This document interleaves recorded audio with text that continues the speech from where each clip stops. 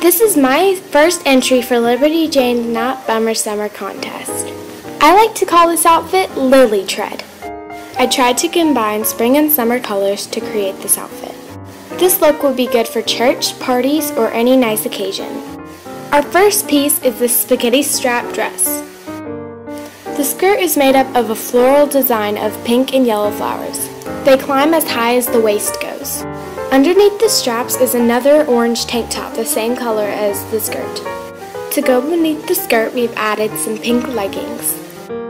These are knee length. And to tie off the look, we've added some black flats. Some fun and optional accessories are this bracelet and this flower pin that you can use to pull back your bangs. P.S.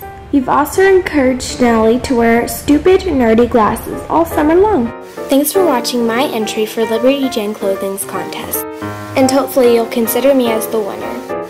But if it's not my turn, that's okay because this was really fun to do.